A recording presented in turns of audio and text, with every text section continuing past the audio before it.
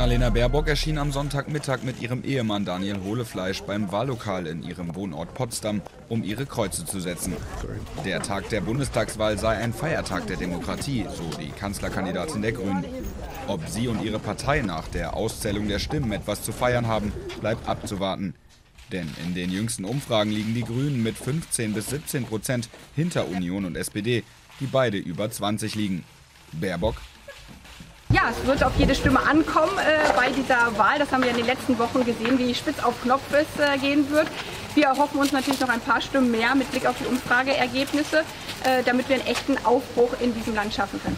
Wie fühlt man sich jetzt äh, als Kanzlerkandidatin, die aber eventuell keine Kanzlerin wird? Natürlich ist ein spannender Tag, nicht nur für unser Land, für unsere Demokratie. Ganz äh, Europa guckt ja auch äh, auf diesen Wahlsonntag hier in Deutschland. Deswegen ist es natürlich auch ein aufregender Tag für mich als Person.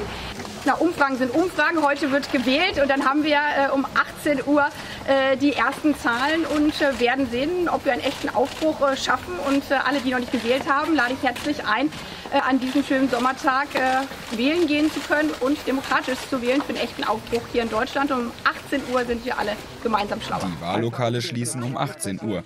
Mit ersten Prognosen ist kurz nach Schließung der Wahllokale zu rechnen.